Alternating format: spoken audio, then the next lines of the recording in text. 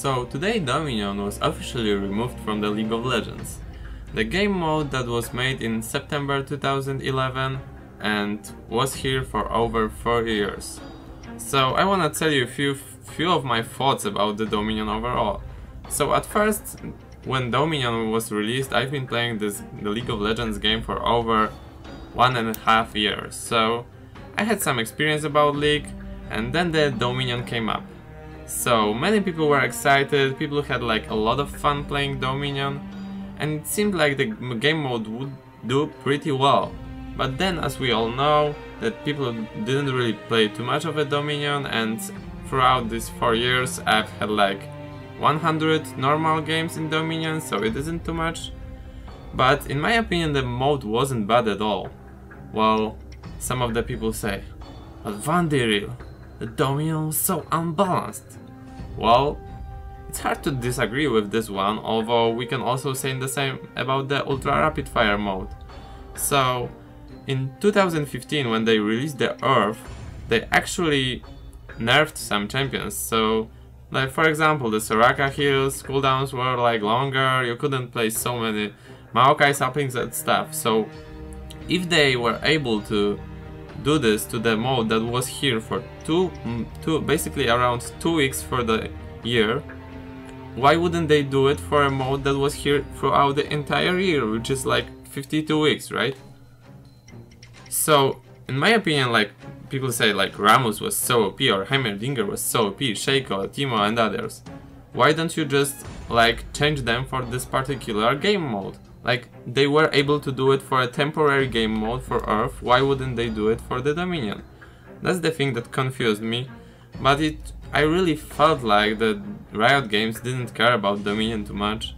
Like they mostly care about the Summoner's Rift, the Twisted, twisted Tree Line and the Dominion are like somewhere on the side. And I'm I'm afraid that maybe some other day the Twisted Tree Line will also be removed. Well, you may be wondering why do I say that? Well, some of you, some of the older players probably know that back in the time, in the Summoner's Rift, in the old Summoner's Rift, we for example had like different different looks of the map. So during the Christmas time we had the winter map, around the Halloween we had the Halloween map, so it added some form of versatility to the game. And we also had Dominion at this time. And what do we have now? We don't have the winter mode, we don't have the Halloween map, we also don't have Dominion. So Riot is basically like doing like removing more things and focusing more on just a normal Summoner's Rift. But to me personally, like just different look of the map like that winter in the Summoner's Rift, it was just super great. Like you play the map for like entire year and you finally get a chance you finally can play like a little bit different like little change but actually it made like wow it's like a, a little bit different game. It's actually enjoyable. This looks different and that was really cool. And for now what they do is just like basically like changing the way minions look and that's it. So to me personally that's that's really disappointing from the Riot's Riot side. So they removed the Dominion, they removed the uh, other looks for the map, they aren't working on that, and some people will probably also say, but we had like less FPS on these maps. No, it's not true. Actually, the winter map or Halloween maps had like similar FPS to the normal one. No one was even complaining about it. So that's that's the thing that's like for me disappointing about the Riot that they, they basically just focus on this one map and they didn't care about the other ones. And wh why is it this sad for me in the Dominion case? Well, to me personally, Dominion was probably the best looking map. Like, they had... It, it was just visually looking amazing. They put like a lot, a lot of details into this one. And basically, that just became a wasted potential, right? And also, the thing I want to touch is the custom custom games that were played on the some on the Crystal Scar, which is the Dominion map. So most of you probably know the, the um, mode called hide and seek, so people were like being the hiders and seekers, running around the map, having a lot of fun. That's probably the mode that most of you know that uh, you can like do in custom modes. So most of the new players probably don't know that back in the time we didn't even have the ARAM map. So people that wanted to play things like all random all mid were forced to play a Summoner's Rift game. So basically 10 people got into the game, they picked some random champions, I mean they got them, they got into the game, and they were just going to the mid lane and fight, fighting around it. But well, as, as you know, that was really problematic because if you had like one troll, he would have just messed that a lot. But why am I mentioning it when I'm talking about Dominion? So there was actually a really popular for a, for a moment mode that was called Arab. So people queued in the um, make were making the custom games in the Dominion map and the game mode as I said was called Arab, which is all random, all bottom. So basically one team was capturing one, one shrine and the other was capturing the other one. And it was all in the southern part of the Dominion map.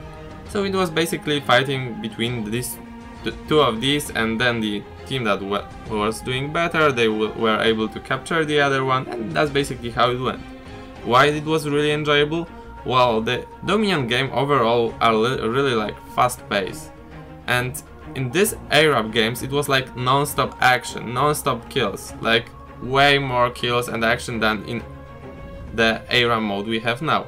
But for now you won't even be able to make this map anymore. And that's pretty sad, I, like I remember playing the Arab with my friends, it was such a good, I had such a good time playing with them just having so much fun, didn't care like about anything, but for now we we lost Dominion we lost Dominion. We won't be able to play hide and seek, we won't be able to play Arab, but they said we will probably make something for the Dominion. So we removed the Dominion, but we will make something for its place. Well, I'm sorry, but I don't really believe it. Being re realistic in the way Riot games work, I'm not expecting them to do something, I'm not saying it's impossible, but realistically looking, I don't expect they will actually make something for the place that Dominion was removed. Well, you may be wondering, why do I think that? Well, do I have to remind some, some things like, uh, what was it? Sandbox mode? Oh wait, replay system? Wait, like, what are these? Or not even touching the thing that Magma Chamber was like was a project that was a total failure. So, well, that's that's pretty sad from their side. So they basically like removing everything and we don't really get much in exchange. I'm not even touching the fact that the ancient ancestor mode that was uh, the Dominion special mode, how would you even make that? Like it was a uh, temporary game mode, but would it even happen anymore? If they remove the game? I'm afraid it won't, so it's another loss on our side. Well, that's pretty sad for me. I, I really think that Dominion had a great potential to become a really really good good game, really really good game mode, but the Riot in my opinion basically screwed it up. Like, they didn't put enough work into it, it had a really great potential, but they just basically wasted it. So if I have to say something about the removing of Dominion, I would say it's basically the wasting potential. In my opinion, this mode really had the potential to be better, but they didn't, didn't really care about it. So they will probably spend more time working on Summoner's Rift and Twisted Treeline I guess right now, so maybe we can actually get something in exchange for this mode but it doesn't change the fact that the Dominion is removed. And that's to me a pretty sad end of the story.